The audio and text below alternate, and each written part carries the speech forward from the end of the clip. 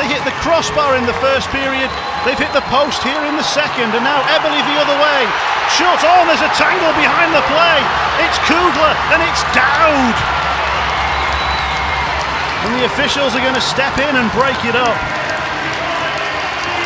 It's all action here in the second period, and somehow it's still scoreless. No idea what caused the fight. Looked like it might have done. Oh, here's the fight, little stick tap there. And then Kugler, and then the gloves are off. And that one never really got going as Kugler lost his balance. And Dowd landed the only punches that really mattered.